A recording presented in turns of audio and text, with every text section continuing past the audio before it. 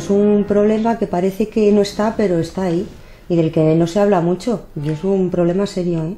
Sí, la verdad es que sí. Bueno, yo me acuerdo de nuestros momentos de compras y los momentos de prisas que Sí. fueron un Cuando poco... salíamos a comprar y lo primero que buscaba y ubicaba era un centro comercial que tuviese servicio. Porque yo ahora voy ya más frecuente al váter y es cierto, yo he empezado a ir ahora mucho más frecuente y hay a veces Bueno. que no llego al váter, pero bueno, te- son por temporadas tampoco. Bueno, pero tampoco... eso es porque la edad lo va haciendo.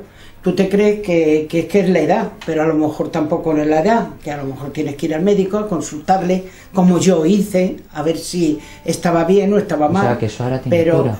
desde luego de todas las maneras, hombre, yo estoy curada y yo llevo siete años. Pero ahora, por ejemplo, cuando te entran muchas ganas de, de hacer Controlo. pis Noto que tengo ganas, pero controlo, no es de la misma manera.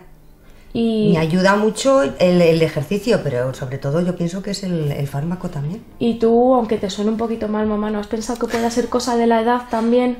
De los desarreglos hormonales, que esas cosas pasan. Dicen, pero no. yo me resisto a pensar que es de eso. Bueno, todavía te quedan muchos años. Bueno, sí. Pero es cierto que es una de... que sí, influye. de las cosas que pasan, ya, ya lo sé que creo que influye influye en los años. Pero es mucho mejor, a mi edad, si te empiezas a notar el problema, ir al médico, te pone un tratamiento y evitas que la cosa vaya peor. Que tenemos otra compañera que nos dice que tenemos que hacer ejercicio con la parte de abajo y nos reímos. Nos reímos muchísimo porque le decimos, ¿qué ejercicios tenemos que hacer? con el cubocuficio. Es que es un nombre muy raro. Se pone, es que tenéis que hacer eso.